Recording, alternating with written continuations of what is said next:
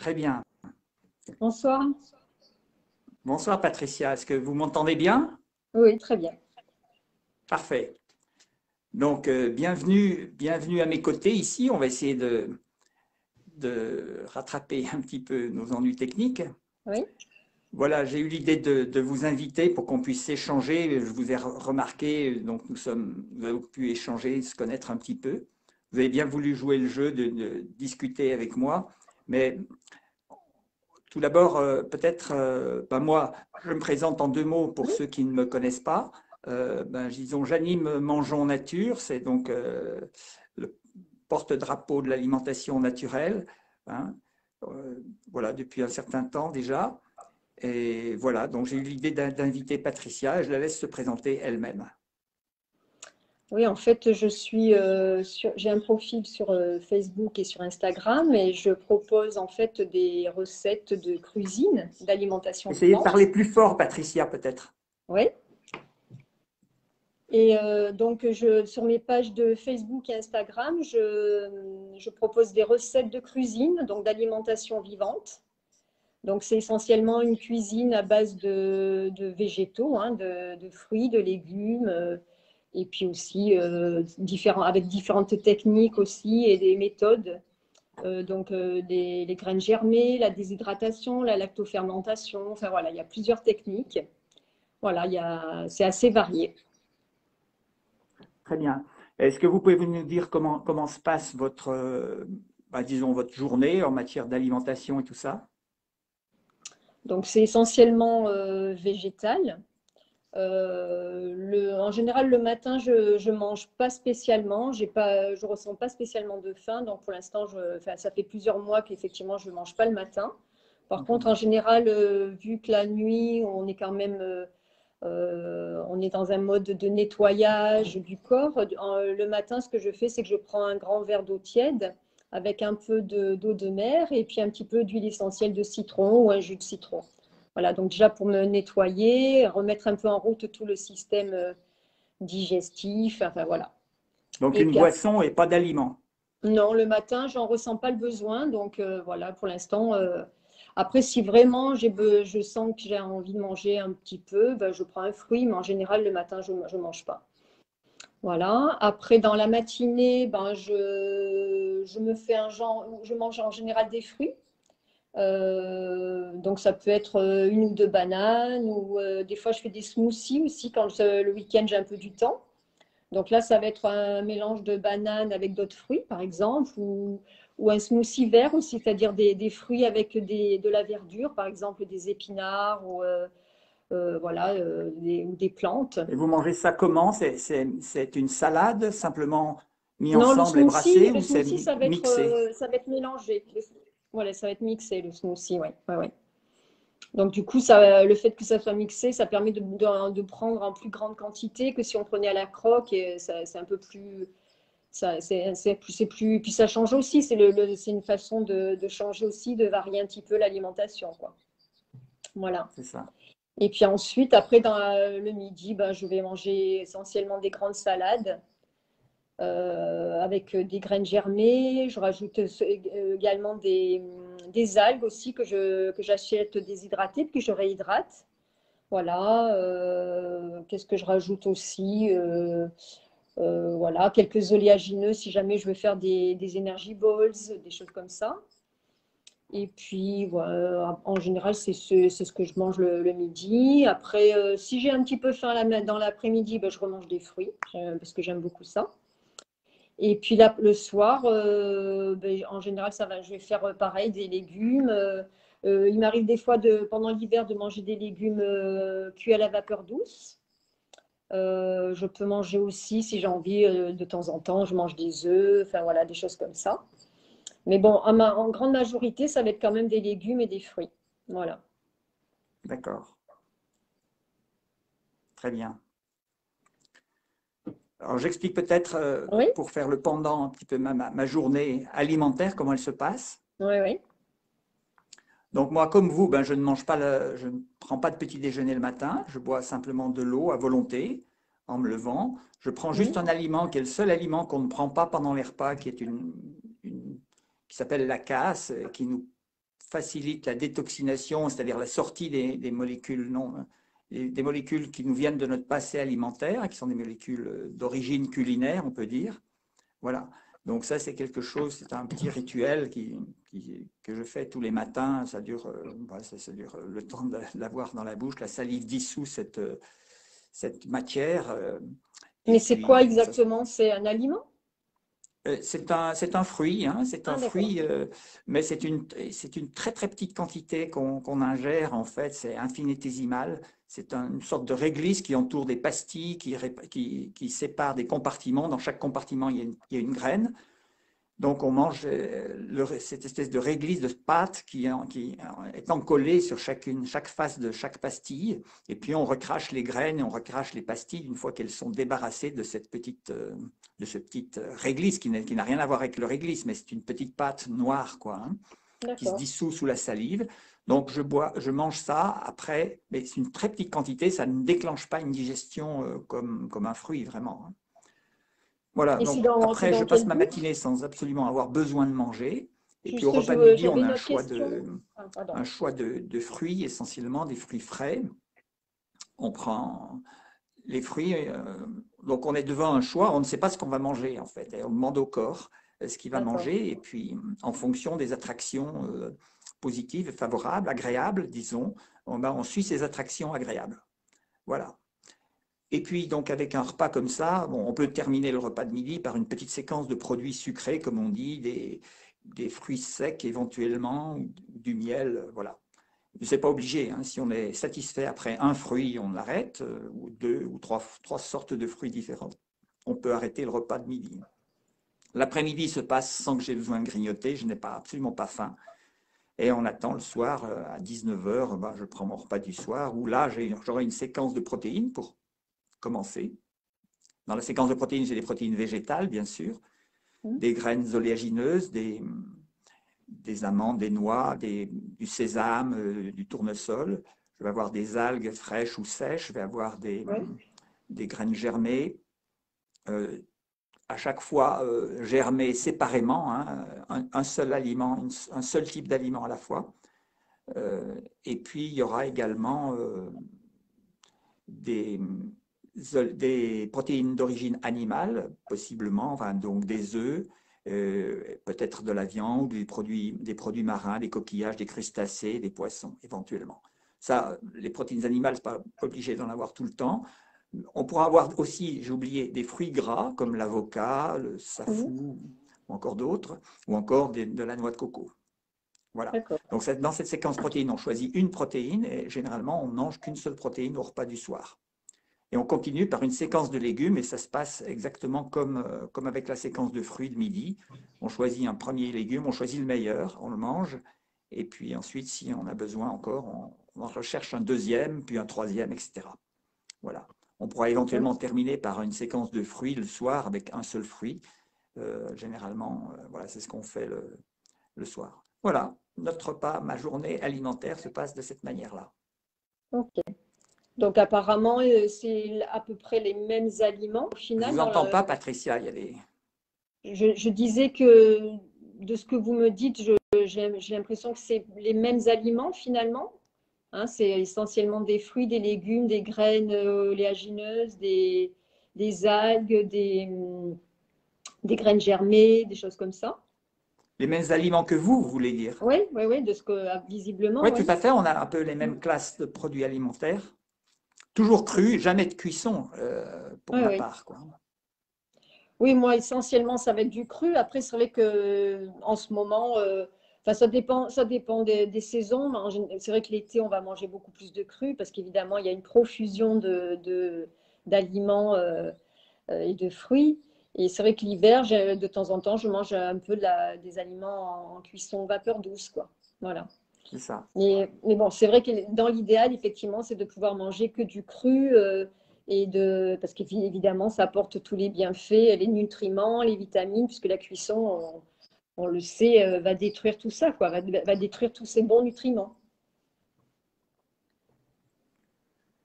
Ok, donc euh, vous avez dit quelque chose tout à l'heure qui a retenu mon attention quand vous avez parlé des smoothies. je l'ai fait en forme de smoothie, ça me permet d'en manger plus. Vous avez dit quelque chose comme ça Oui, oui. Donc, disons, une, une, phrase comme ça, moi, ça m'interroge parce que vous en mangez plus, euh, mais par rapport à quoi? Vous voulez en manger Vous avez l'intention d'en manger plus ou? Dans le sens que ça va être plus nourrissant, du coup, puisque ah, ça sera En, plus, quantité. Alors que si vous les mangiez euh, nature, à la croque, comme vous dites, vous en mangeriez moins, c'est ça? Ou bien? Oui, ça, euh, le fait de les manger comme ça, de les mâcher, euh, au bout d'un moment, on est un peu, je pense qu'on est un peu lassé au final. Alors que là, quand c'est mélangé, euh, que c'est mixé, ben, évidemment, ça fait une plus, plus grande quantité. C'est ça, oui. Pour moi, pour moi c'est quelque chose, enfin, par rapport à l'expérience que je représente, disons, c'est quelque chose, le fait de mélanger des aliments, c'est en fait une manière de tromper, de tromper l'essence quoi, de l'odorat et du mm. goût. Hein. C'est une expérience qu'on a faite historiquement, il y a, ça fait très longtemps, et qu'on peut faire aussi dans le cadre de, l'alimentation naturelle. C'est bon, par exemple, je donne un exemple. Hein. On est en train de manger des, ça a dû peut-être vous arriver, des noisettes ou des amandes, si vous voulez. On en mange une certaine quantité, c'est agréable, la salive vient, tout ça. Puis au bout d'un moment, la salive, la salive s'assèche dans la bouche. La bouche s'assèche, il n'y a, plus de salive dans la bouche. Hein. Mm. pour nous, normalement, c'est le signe qu'on est à l'arrêt, comme on dit, on a, on a comblé le besoin de, de cet aliment-là au moment présent. Et alors, une petite chose qu'on peut faire, c'est que si on met quelques amandes, par exemple, qu'on les recouvre de miel et qu'on mange une cuillerée euh, dans laquelle il y a des amandes et du miel, à ce moment-là, curieusement, les amandes vont pouvoir passer, si vous voulez, et pouvoir mmh. être euh, mastiquées, dégluties. Euh, voilà, on va pouvoir euh, s'en repaître, enfin, continuer en fait à, en consommer. Alors que si on avait continué à les consommer seuls, là on ne pouvait plus parce que la salive bloque vraiment, il y a un blocage dans la, dans la bouche, la bouche s'assèche et on ne peut pas absolument plus continuer à manger des amandes. Oui. Donc le fait de mélanger pour nous, en fait, euh, c'est une manière de tromper en fait son propre instinct. Donc mhm. évidemment, euh, c'est quelque chose qu'on ne fait pas. D'accord. Et on, ne part pas non plus avec l'idée de, dire je vais pouvoir, euh, il faut que j'en mange plus pour me nourrir davantage, pour avoir plus d'énergie, tout ça, c'est quelque chose qu'on, voilà, recourir à ce genre d'idée pour nous, c'est s'appuyer sur un artifice, s'appuyer sur une, quelque chose d'artificiel, en fait, qui va, dont la conséquence, c'est de, tromper nos sens.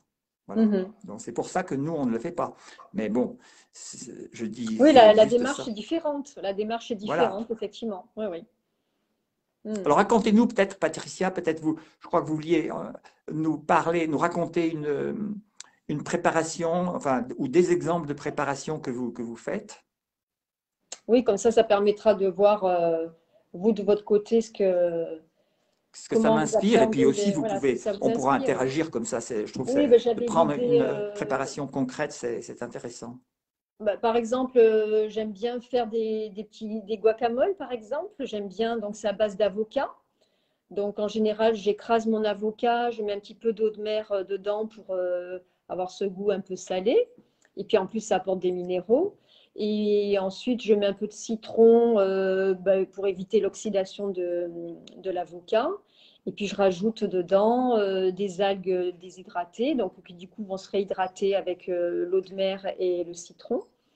Et puis, là, en ce moment, je, vais plutôt manger ça simplement. Donc, juste avocat, un peu d'eau de, mer et un petit peu d'algues. À, une époque, je rajoutais pour augmenter, on va dire, les, saveurs. Je mettais, euh, par exemple, des petites échalotes hachées ou, euh, des capres, ou, euh, je pouvais rajouter un petit peu d'ail ou, des épices. Mais là, c'est vrai que depuis quelques temps, j'ai plus envie d'aller dans la simplicité, dans quelque chose d'un peu plus pour, pour, vraiment avoir le goût de l'aliment, c'est-à-dire l'avocat, qui est l'aliment principal dans ce plat-là.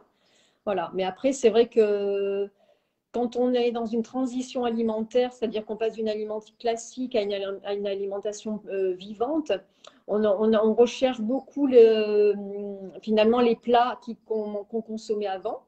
Donc c'est vrai qu'un guacamole, en général, c'est avec des épices, avec euh, voilà, il y a pas mal d'aliments dedans. A, on peut rajouter euh, des petites tomates, des choses comme ça.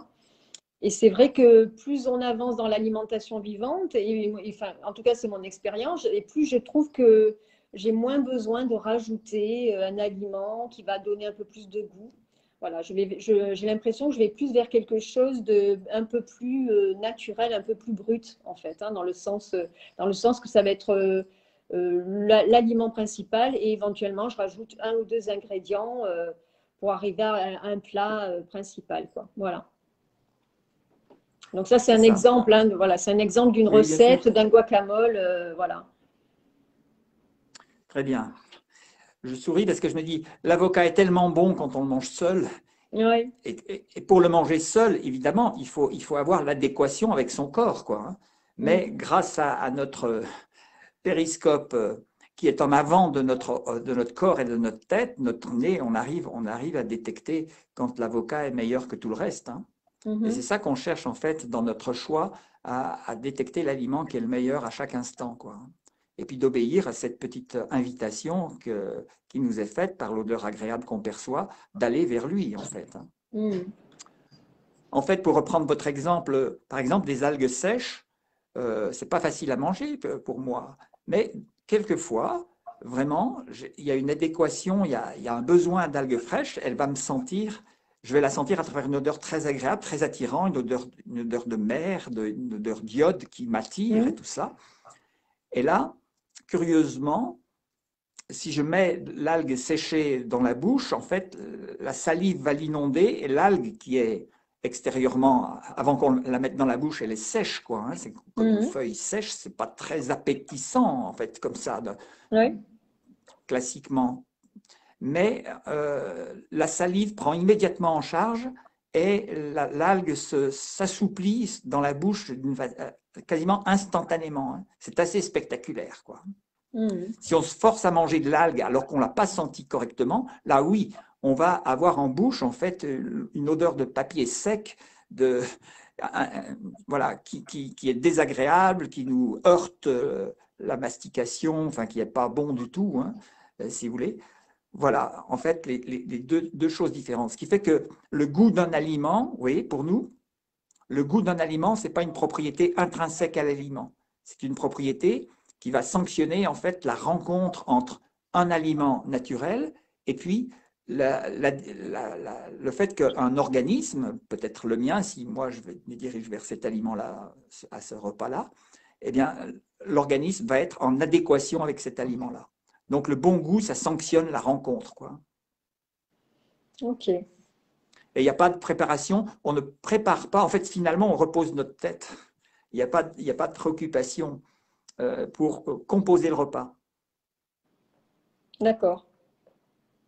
Oui, vous répondez aux besoins du corps dans, à l'instant T. Quoi. Voilà, c'est ça. On est hmm. toujours un petit peu euh, après courir. Euh, quel est le besoin de mon corps pendant ce repas, selon le choix que j'ai Alors, bien sûr, les repas sont, sont composés avec des séquences euh, qui, doivent se présenter dans un certain ordre, hein, comme je l'ai dit au début.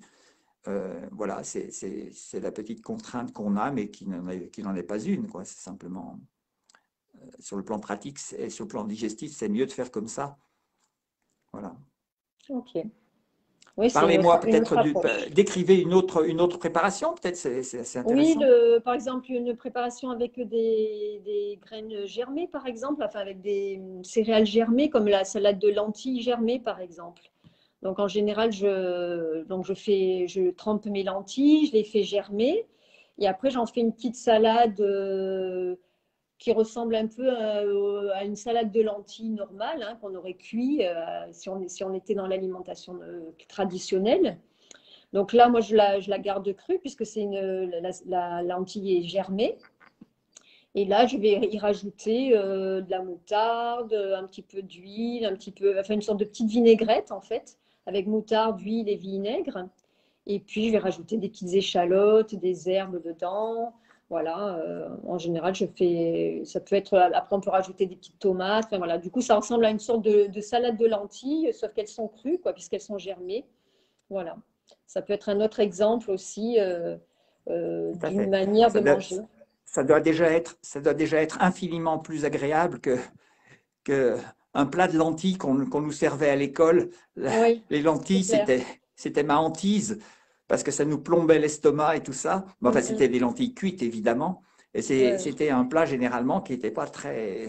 On préférait les frites hein, quand on était enfant. Bah, au moins, c'est déjà plus léger qu'un plat de mm. lentilles euh, conventionnel. quoi. C'est sûr. Voilà, ben ouais. Et donc ces lentilles, euh, mais vous ne mélangez pas les lentilles avec une autre graine germée déjà, par exemple? Non, non, ça va être que, que les lentilles germées. D'accord. Ouais, donc c'est. Alors, vous, vous utilisez de l'huile, donc euh, moi, je n'utilise pas d'huile, mais en, revanche, j'utilise des, aliments gras euh, desquels on peut extraire de l'huile. Bon, par exemple, des olives, évidemment.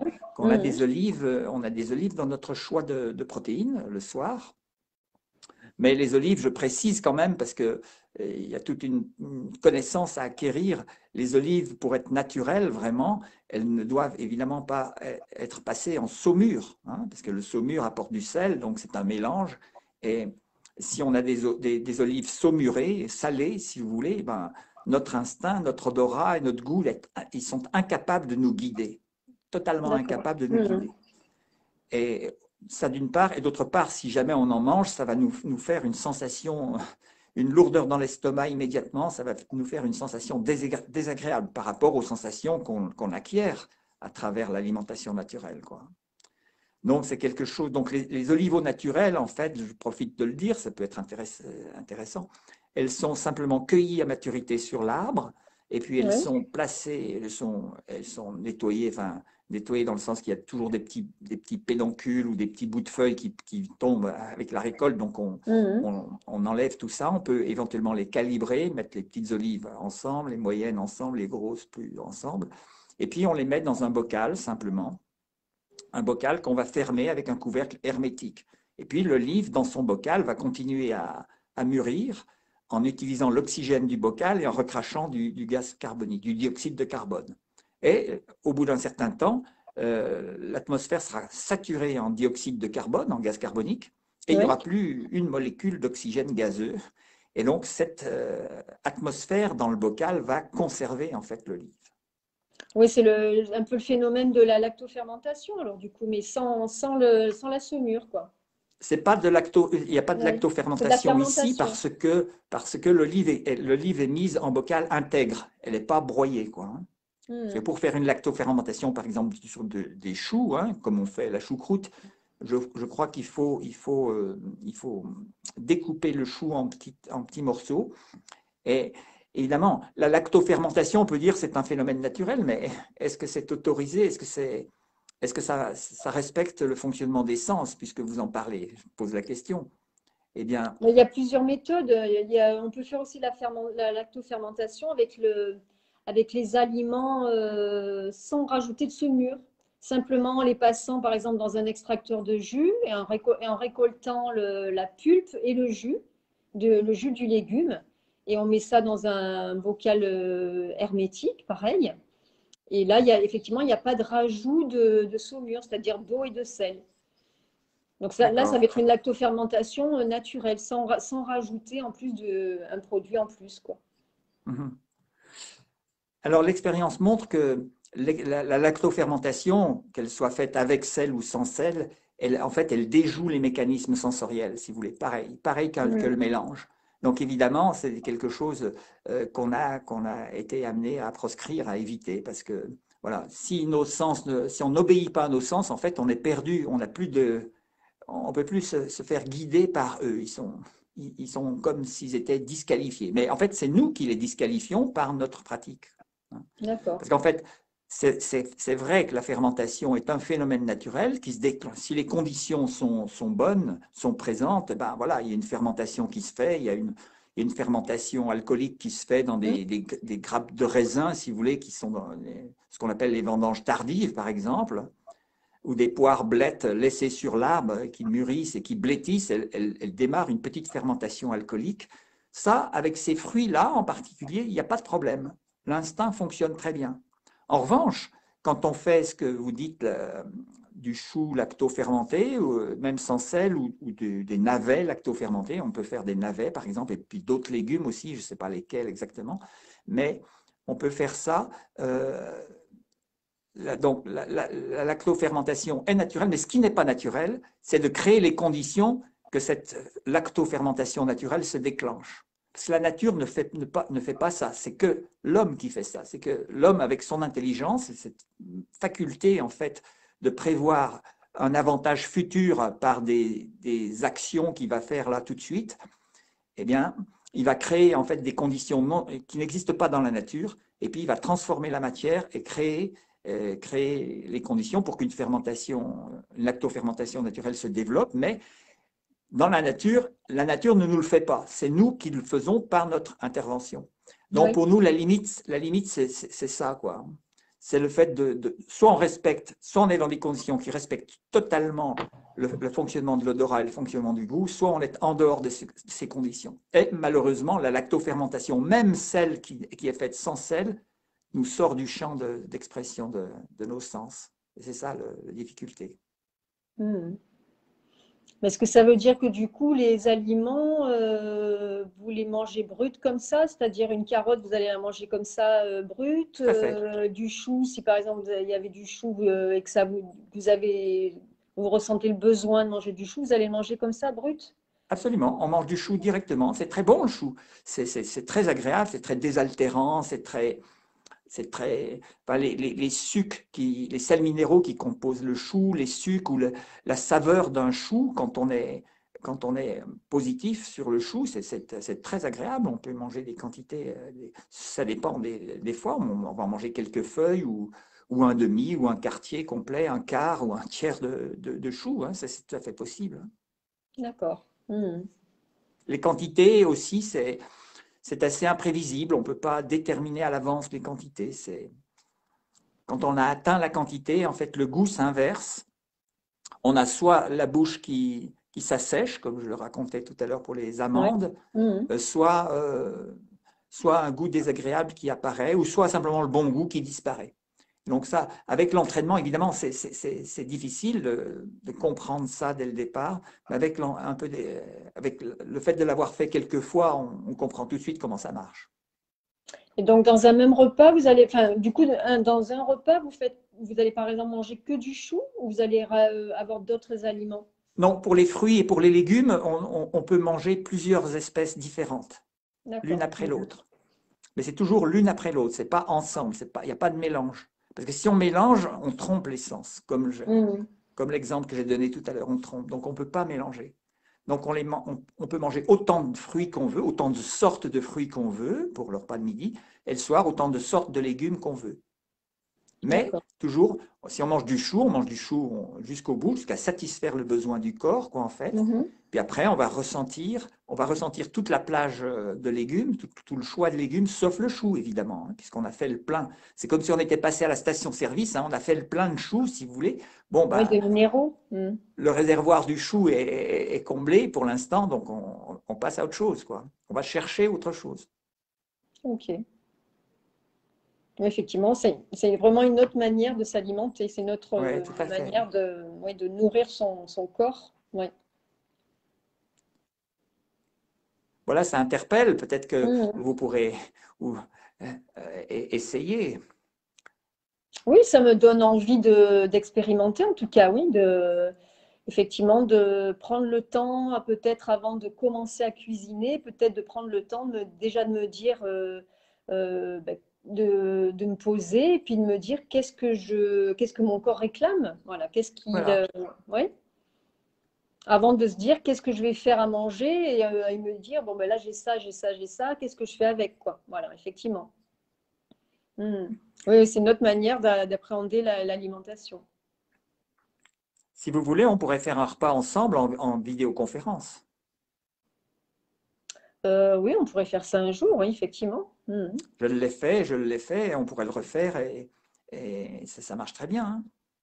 oui, ça euh, permettrait peut-être de vraiment voir comment, comment vous appréhendez le, le, enfin, comment vous choisissez déjà vos aliments. Voilà, comment ça se passe. comment... Oui, oui, ça serait intéressant. j'ai déjà fait, ça marche très bien. On, met le champ de vision sur, euh, sur la personne, bien sûr, son assiette devant elle, et puis sur, sur un côté, ben, le, choix de fruits ou le choix de légumes si c'est le soir.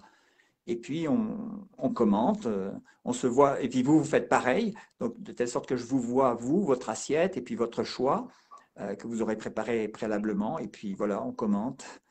Mmh. C'est très intéressant. Hein. Ah oui, effectivement.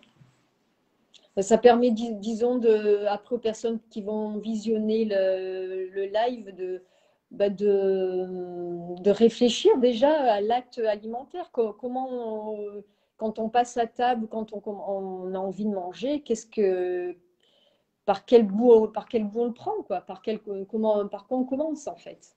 Mmh. Est-ce qu'on est qu'on part du, du, du, besoin ou est-ce qu'on part, on part de l'envie? Voilà, il y a peut-être deux notions différentes, oui tout à fait. En tout cas, il y a une chose que je reconnais de, bien à la cuisine. Hein.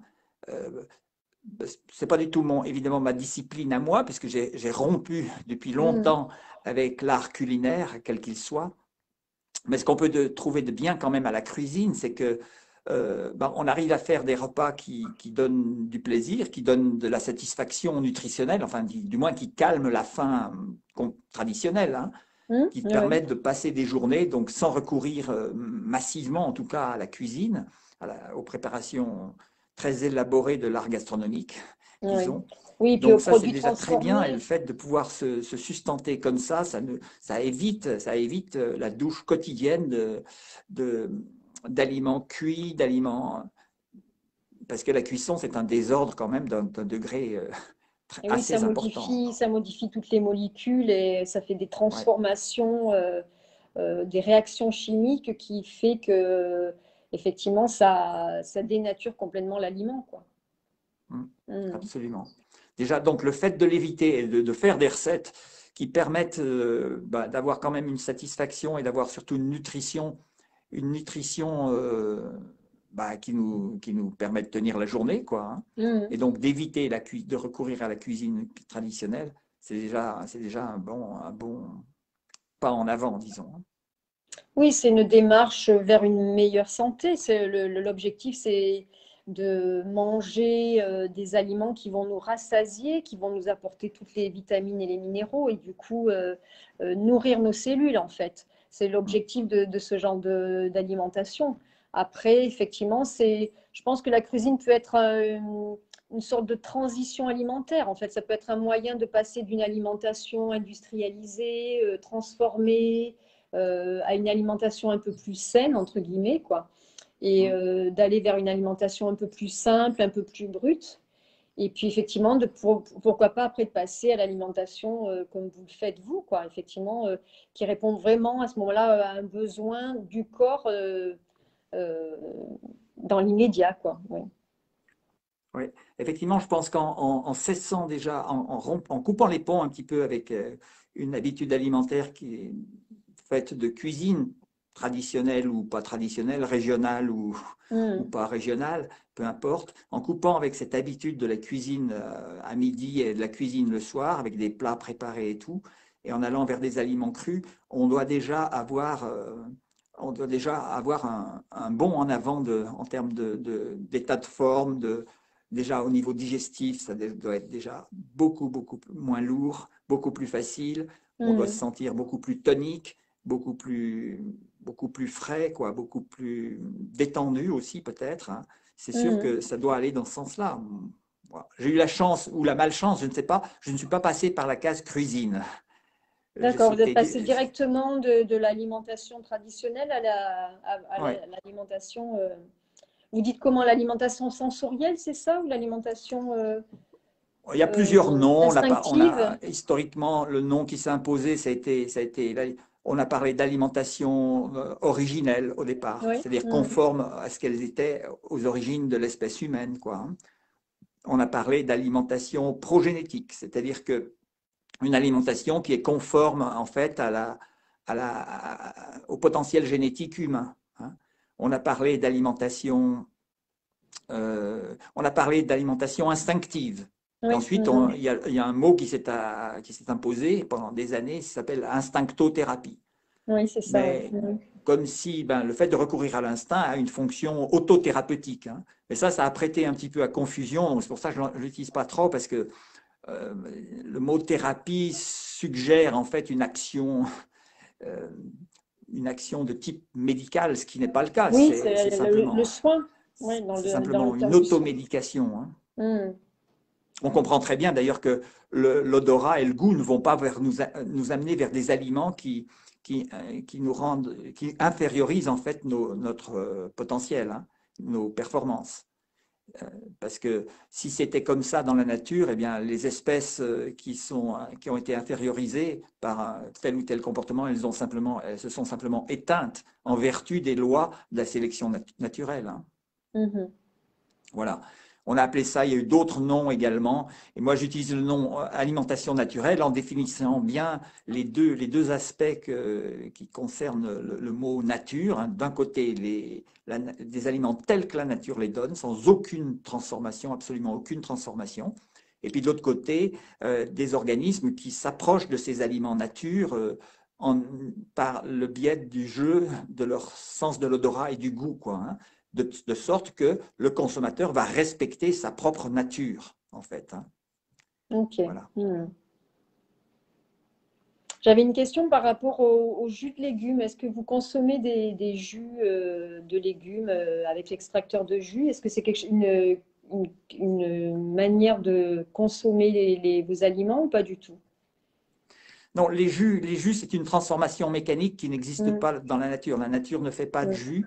Hein, ça, va être toujours un petit peu notre ligne de conduite, notre leitmotiv. Mais en fait, euh, concrètement, si vous voulez, vous pouvez faire l'expérience. Vous mangez des oranges, et puis bah, un petit peu la même situation que j'ai racontée tout à l'heure avec les amandes. Et, vous mangez des amandes, vous mangez des oranges, à un moment donné, vous mangez des oranges seules. Hein. Vous mmh. coupez l'orange en quartier, vous mordez dedans, enfin voilà, ou vous épluchez l'orange comme vous voulez. Enfin bref, vous mangez de l'orange. Au bout, elle est agréable, admettons, au départ, et au bout d'un certain temps, elle va devenir euh, un petit peu acide. C'est-à-dire l'acidité de l'orange va prendre le dessus, elle va euh, être désagréable, elle va vous piquer le fond de la gorge. Vous aurez envie d'arrêter de, prendre, de manger de l'orange. Donc, si vous êtes en alimentation naturelle, vous arrêtez et puis vous ne cherchez pas midi à 14 heures. Mais une petite expérience à faire, à ce moment-là, vous pouvez euh, presser une orange, extraire le jus de l'orange. Et vous verrez, alors que vous êtes bloqué pour continuer à manger de l'orange nature, quoi, disons, eh bien, vous allez pouvoir euh, boire un verre de jus d'orange en plus, ou même deux ou trois. Vous n'aurez pas d'arrêt. Vous n'aurez pas de, blocage, quoi, si vous voulez. D'accord.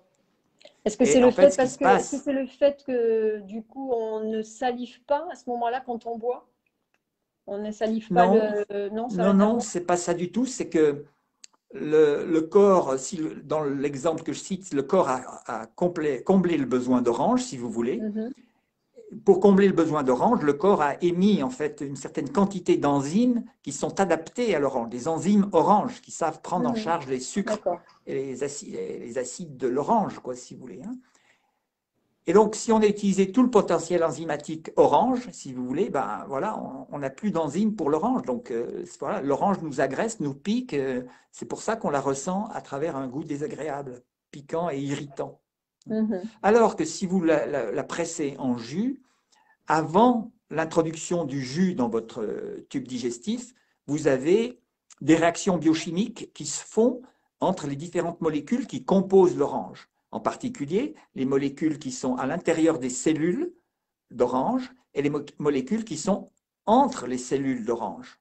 Et donc, ça fait des réactions biochimiques, si vous voulez, qui sont en dehors du contrôle enzymatique ces réactions biochimiques créent des molécules nouvelles, enfin en tout cas c'est l'explication qu'on donne, ça crée des molécules nouvelles qui déjouent en fait le sens de l'odorat et le sens du goût. Et donc l'acidité qu'on ressentait avec l'orange, qui a fait qu'on a arrêté de manger de l'orange, ben, on ne va mhm. plus la sentir avec le jus. Parce qu'avant qu'on mette le jus dans le gosier, si vous voulez, il y a eu une transformation biochimique à transformer la matière. D'accord, ok. C'est comme ça qu'on explique cette expérience. en mhm. fait. Ok. Malheureusement, donc les jus, je sais que c'est un petit peu une mode, c'est une manière de consommer des légumes, oui, parce que les légumes, c'est un peu difficile à manger, c'est vrai, mmh. mais si on insiste et si on, on, arrive à... Moi, j'aime les légumes autant que les fruits, j'aime tout ce que je mange. Mmh. Sinon, je ne le mange pas. Donc, je puisque je ne mange que ce que j'aime. au moment où je le mange. Donc, euh, voilà, les légumes, euh, on ne peut pas vivre sans légumes, hein, c'est très important. Hmm. Même si c'est difficile au début de les appréhender, avec un petit peu d'exercice, un petit peu de temps, ça, parvient, on y parvient tout à fait. Ok. Hmm. Est-ce que vous auriez, Patricia, une autre euh, préparation à nous exposer peut-être?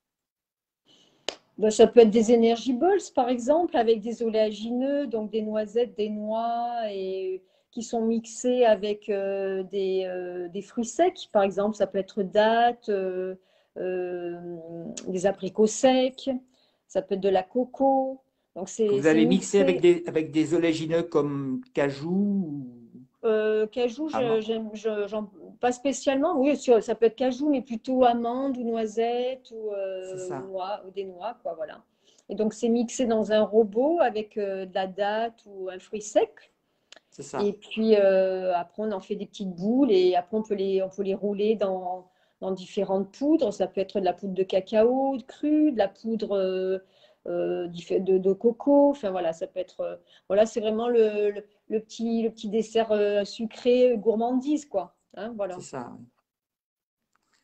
Oui, c'est une préparation qui sera crue et qui ne sera pas cuite, quoi. C'est ça l'intérêt. Mmh.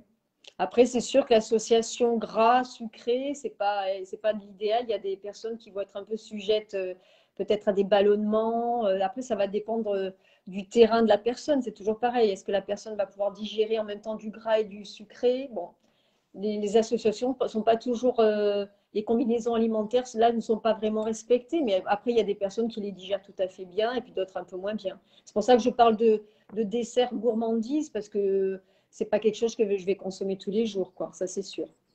Oui, c'est ça, j'espère, parce que mm. effectivement, ça me fait peur quand j'entends votre préparation un petit peu. Déjà, une, observation qui, me vient de ce que vous avez dit. admettons que vous, mélangez deux ingrédients, allez, des amandes et, des dattes. Dans votre préparation, vous allez mettre, euh, je ne sais pas, la moitié, 50% d'amandes et 50% de, dattes en, masse, si vous voulez. Hein. Donc, en fait, dans votre aliment, c'est comme si, de mon point de vue, hein, de mon point de vue d'expérience, hein, d'expérimentateur, c'est comme si vous disiez, euh, euh, vous disiez, j'ai autant besoin de dates que de que d'amandes. Hein. C'est ce que vous dites. Alors que moi, je ne peux pas dire ça. On ne peut pas savoir à l'avance combien on a besoin de dates et combien, si on a besoin de dates, toujours déjà. Et on ne peut pas dire euh, combien on en a besoin si on a aussi besoin d'amandes, par exemple. Donc, c'est qu'en en mm. les prenant séparément qu'on va pouvoir déterminer la, la quantité exacte de chacune d'entre elles, mm. chacun de, de, ces aliments. Quoi. Donc ça, c'est problématique pour moi parce que là, vous avez, en faisant cette gourmandise, comme vous dites, mais vous avez déterminé que la quantité de dattes était égale à la quantité d'amandes dans ce que vous proposez. Oui, parce que, la, recette euh, amène à ça, c'est-à-dire que si on veut que ça colle, que la préparation, préparation puisse coller entre elles et se voilà s'amalgamer, effectivement, il faut mettre pratiquement autant de, noix que de, que de fruits secs c'est vrai que c'est la recette qui se prête à ça, effectivement. Donc, euh, oui. tout à fait. Hmm. Donc là, c'est une activité, c'est une activité hors nature, en fait. Hmm. C'est une activité, c'est une élucubration de l'intellect humain. Hein. Hmm. Bah, voilà. Il y a très peu de chances qu'on soit dans les clous, quoi. Il y a très peu de chances très peu de chances que les besoins, mes besoins de date et mes besoins d'amende soient rigoureusement en masse équivalents quoi, à ce moment-là. Oui, ça va plus répondre, répondre à une, une envie qui va être comblée plus qu'à vraiment un besoin, effectivement. Cette approche-là, elle est plus dans le côté euh, créatif, dans le côté euh, gourmandise, euh, dans l'envie, dans l'instant, et que plus dans le côté vraiment répondre aux besoins du corps. Oui, effectivement, je, la nuance, elle est là, je pense, entre les deux méthodes. Hmm. Il y a Geneviève, je vois ce qu'elle écrit là, elle dit Bonjour, avec les jus, bonjour les problèmes de digestion. Les jus de fruits, oui, les jus de fruits, évidemment. Après, les jus de légumes, non, il n'y a aucun souci de, de digestion. D'autant plus quand on fait un jus euh, mono-jus, c'est-à-dire euh, un jus de céleri, par exemple, tout seul, ou un jus de carotte.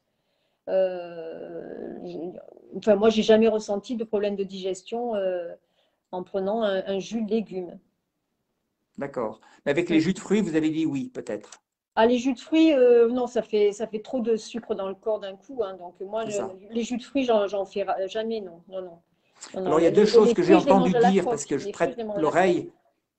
Comme je savais qu'on avait ce dialogue, je prête l'oreille un petit peu plus attentivement aux, affaires de la cuisine. Hmm. J'ai entendu dire que les, jus, d'abord, il faut les faire, il faut les, faut les boire une fois qu'ils sont faits. Il ne faut pas les laisser stagner dans un pot même dans le frigo et bah, tout ça, c'est possible. Il y a des possibilités de les mettre dans des, euh, dans des carafes, des, carafes ou des petites bouteilles hermétiques. On enlève, on, pompe, on met une petit, un petit ustensile dessus qui pompe l'air et qui enlève l'oxygène et ça évite que le, le jus s'oxyde. Euh, voilà. Après, il y a des petites astuces aussi. On peut mettre un peu de jus de citron dedans pour ne euh, pas que ça s'oxyde trop vite aussi. En, en, général, il faut que ça soit consommé quand même dans la journée, quoi. ça c'est sûr. Voilà, consommation assez rapide après la fabrication. Hein. j'ai lu ça. Mm. Et puis, j'ai lu aussi, aussi euh, une autre préconisation qui était faite, c'est que quand on boit un jus, même si c'est un, jus de légumes ou de fruits, il faut le, boire lentement. Oui, il faut le mâcher comme si on le mastiquait. Mmh, exactement. Oui, parce que justement, pour que les, enzymes jouent leur rôle aussi, quoi. Voilà. C'est important. Mmh. Donc, bien qu'il y, a un problème de. Il y a, une discordance entre, disons, ce qu'on met dans le, tube digestif et puis la, production enzymatique du corps. Donc, il faut faire attention. Mmh. Ok. D'accord. Bon, ben. Voilà, je ne sais pas si vous voulez si vous voulez conclure, peut-être, on, va, on a déjà fait un petit moment. Vous avez peut-être des questions à me poser ou, Non, mais ça me permet de, voir un petit peu votre manière d'appréhender l'alimentation.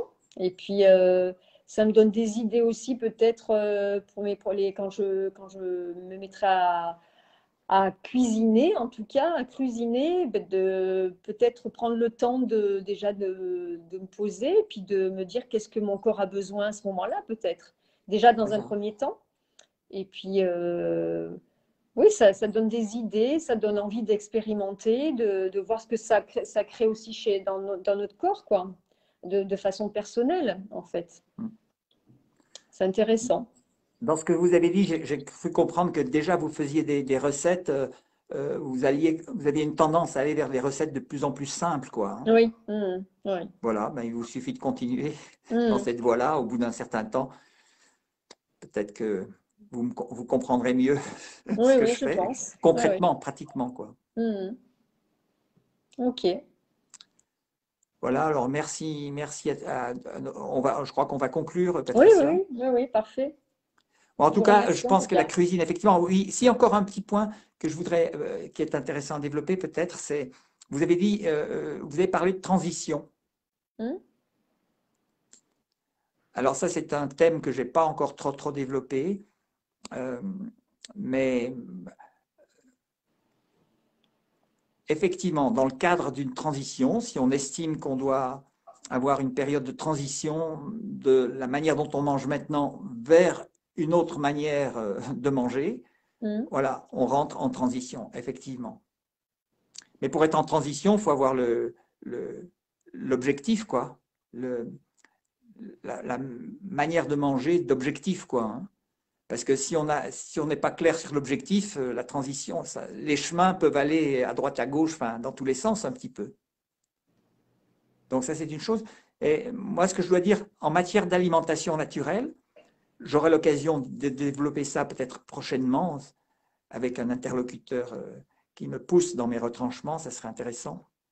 Je pense que, euh, en fait, si on mange comme la nature a prévu que l'homme mange, c'est ce qu'on essaye de faire avec l'alimentation naturelle. En fait, euh, si on mange en étant en raccord complet, en accord complet avec notre potentiel génétique, eh bien, on doit pouvoir manger correctement. Enfin, selon les lois naturelles, selon les lois de la création, en fait, instantanément, sans aucune transition. On a besoin peut-être d'une préparation mentale. Il faut apprendre, il faut voir comment faire. il y a un certain nombre de choses à apprendre parce qu'il faut se débarrasser de nos réflexes conditionnés, ça c'est clair.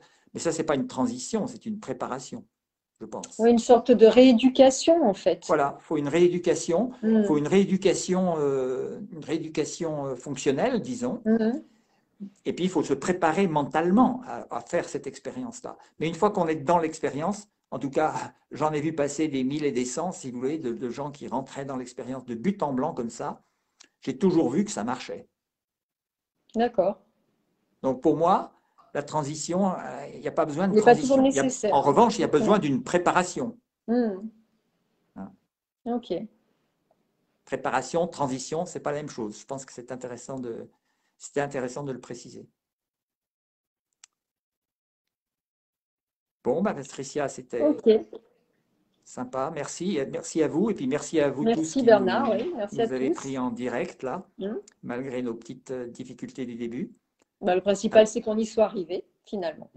voilà. En, en, insistant, en étant persévérant, on y arrive. Oui, oui, on y arrive toujours. Merci Patricia. Bonne fin de soirée. Je vous souhaite une bonne soirée à tous. Et bonne soirée à tous. Allez, au revoir.